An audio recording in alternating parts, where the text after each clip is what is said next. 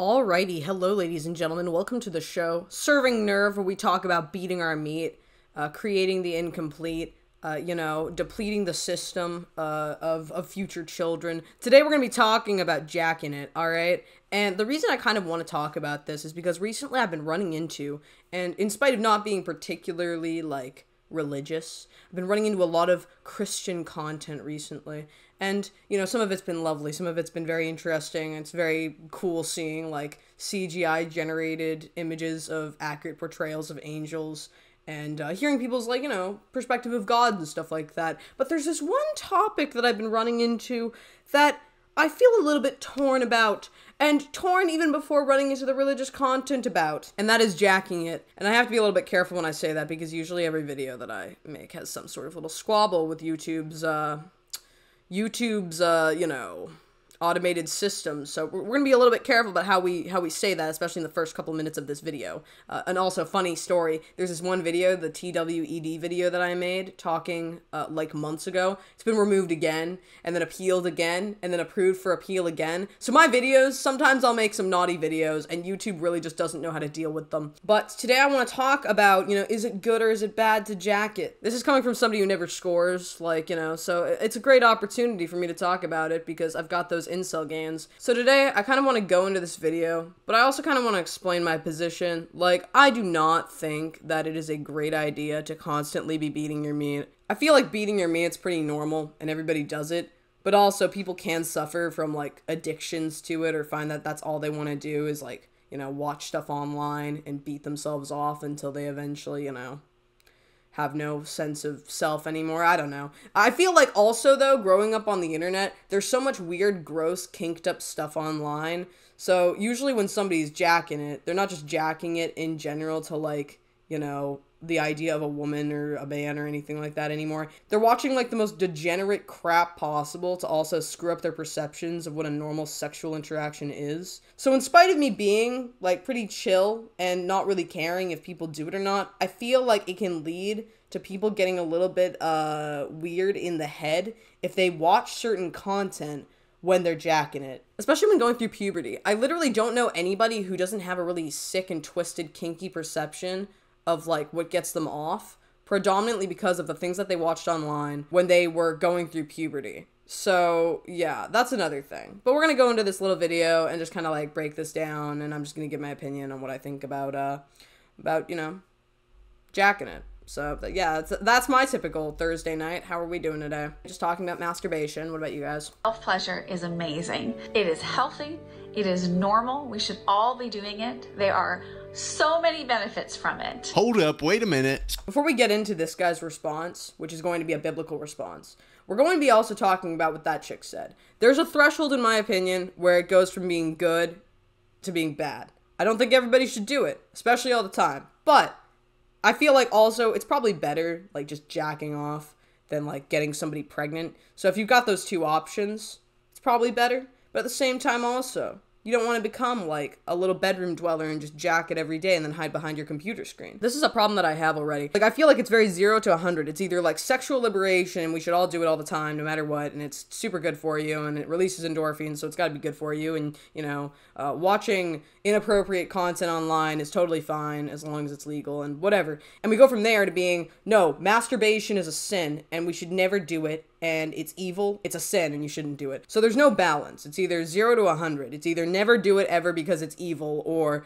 do it all the time because there's no evil in pleasure or whatever. And they're both I feel like they're both kind of wrong. I feel like it's better to abstain in my opinion than to do it constantly. But I am also biased because I don't really believe in the idea of just aimless pleasure with like no logic to such a pleasure. Like no no reason for the gratification, right? Instead of like going and, you know, performing your goals or meeting somebody and becoming successful in life or something like that, instead you just hide in your bedroom and, you know, you replace the idea of like your success or your pleasures in life with just pleasuring yourself. So I feel like I get it, but I just want to mention, I think I'm overcomplicating this. It's like, I don't know. I don't know. I just wanted to mention this because I feel like there's never like a balance where it's like do it but don't do it too much kind of vibe, you know? Nobody ever says that. It's either don't ever do it or do it all the time because it's great. You can do it whenever you want. Self pleasure or masturbation present themselves as a convenient solution to sexual frustration or to the desire for sexual pleasure. But this is why I want to warn you against it. It goes in direct opposition to God's design for sexuality. Our sexuality was designed to be expressed in the covenant union of marriage. Therefore, man shall leave his father and his mother and hold fast to his wife, and they shall become one flesh. Sorry that I'm pausing this. I just don't want to get discombobulated with the Bible verses because I'm not particularly well versed with the Bible.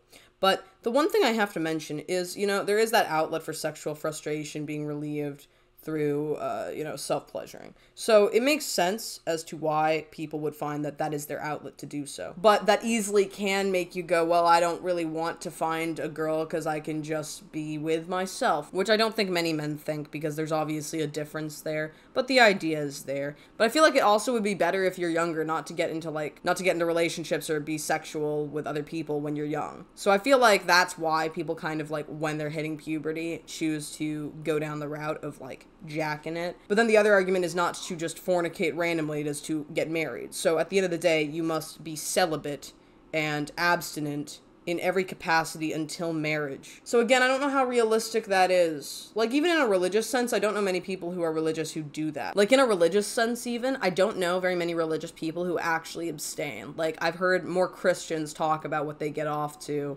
than normal people. So I don't know how applicable it is, like in the new age, especially with the internet and everything like that. I kind of want to mention it though because I'm really like unbiased in either capacity, but I think there's an easy way that like people can kind of like go again from like one extreme to the other when it comes to like jerking off basically. That masturbation isn't a solution to the problem. Once becomes weekly becomes daily. It doesn't leave you satisfied for long and leaves you in a state of guilt and shame. Friend god's design is so much better. How can a young man keep his way pure by guarding it according to your word? With all my heart i seek you. Let me not wander from your commandments. I have stored up your word in my heart that i might not sin against you. Saturate your life with scripture. Confess quickly when you fail. Don't stay in that place of guilt or shame. Through christ you can find victory so, like, I kind of can agree with the guy in that capacity when it comes to, like, one day a week becomes, you know, three days a week becomes every day becomes all day every day, especially if it's like, you know, you, you just hang out at home or something like that. And it doesn't really bring a solution. And also, yes, like masturbation, I think for most people can bring guilt and shame. Also, depending on what you're watching when you're getting off, I'm just saying, I think a lot more people suffer from guilt and shame when they don't just jerk it, but they're jerking it to something weird. Like, am I stupid about that? Because I feel like most people are like incredibly perverse and they just watch really screwed up stuff. And that's another reason why they find themselves potentially bathed in guilt and shame post nut. Or another thing they do is they find that that guilt and shame perpetuates them to then kind of turn into the sexual liberation sphere where they're like, oh, I shouldn't feel guilty or shameful ever. And it's just me like expressing my body and being sexually liberated and all that stuff. So there's that too. So it's either going to create one extreme or the other where you beat yourself up or you feel constantly sinful and shameful regarding your uncontrollable urges. You know, it's pretty forgiving with Christianity at times, like, unless you're in a really extreme position. All the time, it's like, yeah, it's a sin, you sinned, but you know, you'll be forgiven, just repent, blah, blah, blah. Like, I'm not trying to, like, belittle the religion. I'm just saying, like, it's not one of those zero to 100 things where now you're going to hell because you jerked off. But then you've got that, and then you've also got people who are like, no, screw God. I can jerk off whenever I want, and I'm to do it all the time. And that's to be my outlet for pleasure or whatever because I'm lonely or whatever the case is. And it's sexual liberation, and I can watch whatever I want when I get off, and it doesn't matter. And this is what creates like two incredibly odd situations for individuals. When in reality, from my perspective, the best option is to not do it with any level of excess at least. Personally, I think it's better to not do it because you can do other things with your day that are much more effective but I don't feel like people should feel like they can never do it. It's very weird. Like, I'm not trying to be an advocate for either, because when I look at this, I'm like, well, do your thing, but probably don't look at anything weird online when you're doing it. Don't look at anything weird online when you're doing it because it's going to screw up your head. That's my biggest concern is actually what people watch online when they're getting off, not even the idea of getting off, whether it's with you or somebody else. Whatever you're watching online, I think is what creates the biggest issue here because nobody ever watches anything normal. I never see anybody even talking about like the pizza guy comes to the girl's house to clean her pipes because he's also a handyman. No. No, instead it's like furry tentacle hentai porn with like underage girls and whatever else and like horses and you know Vaush told me that he likes to watch this so I also watch it or something. Like crazy shit like that.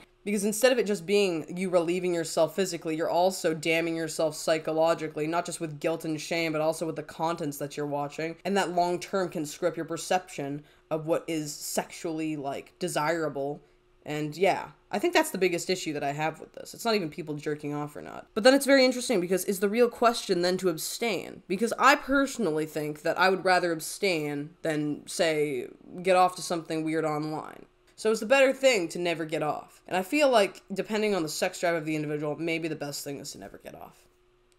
I don't know.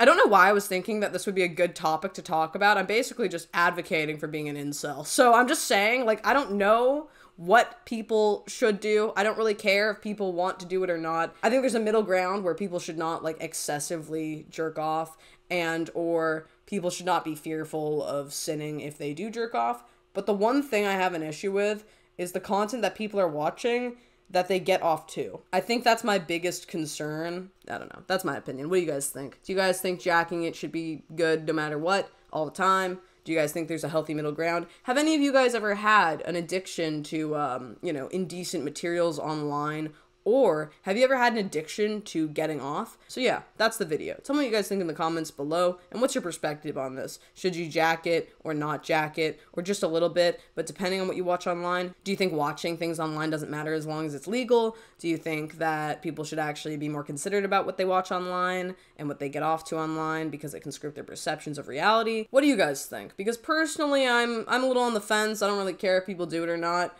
But I do think that what people watch online really affects them negatively a lot of the time because it's so unrealistic and it builds a really unhealthy perception of what sexual things are.